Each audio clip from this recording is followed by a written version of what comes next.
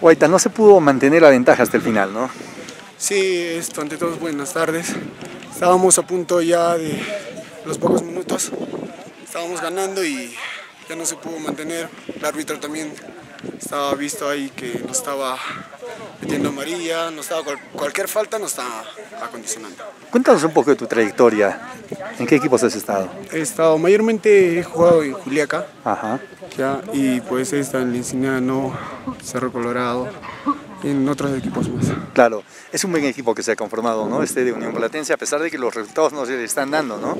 Sí, eh, hemos hecho un, buen, un bonito grupo, estamos dando en cada partido la pelea y pues estamos ahí. Claro, eh, eh, lo bueno es que tienen en casa la posibilidad de sumar y de seguir avanzando, ¿no? Sí, en casa nosotros nos hacemos más fuerte y el grupo está mentalizado que en casa se tiene que hacer respetar.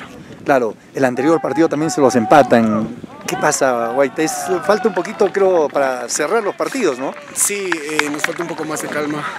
En los últimos minutos, en allá también Lampa nos empatan ganando. Ajá y pues es parte, es parte del, fútbol. Claro, es, bueno que la población venga, venga a apoyarlos de esta manera como lo han hecho los hinchas ¿no? del equipo.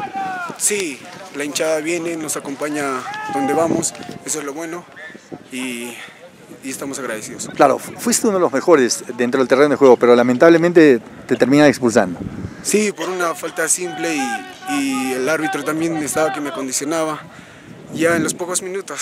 Sí.